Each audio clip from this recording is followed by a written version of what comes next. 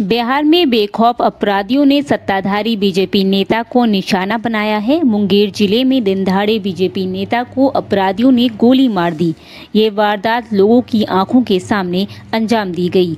दरअसल मुंगेर के evening college के पास ही, जहाँ अपराधियों ने बीजेपी के प्रदेश प्रवक्ता और अल्पसंख्यक चेहरा अजफर शमशी को निशाना बनाते हुए गोलीबारी की, इस दौरान अपराधियों की गोली से अजफर बुरी तरह जख्मी हो गए।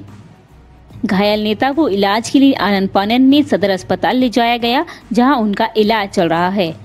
खबरों के मुताबिक अजफ्फर कॉलेज के प्रोफेसर भी हैं। वो अपनी कार से निकलकर कॉलेज जा रहे थे। इसी दौरान उन पर अज्ञात लोगों ने गोलीबारी की। गोलीबारी के दौरान दो राउंड फायरिंग की गई। अपराधियों ने उन्हें टारगेट करते हुए सिर के राइट साइड की कनपट्टी पर गोली मारी है। उनके शरीर में दो गोली लगी है, जिसमें से एक गोली कनपट्टी में लगने के बाद फंस गई है। फ़िलहाल उनका इलाज चल रहा है। गोलीबारी की इस घटना को किन कारणों से अंजाम दिया गया है, इसका पता नहीं चल सका है। मामले की जानकारी मिलते ही पुलिस ने छानबीन में जुट गई है। News desk.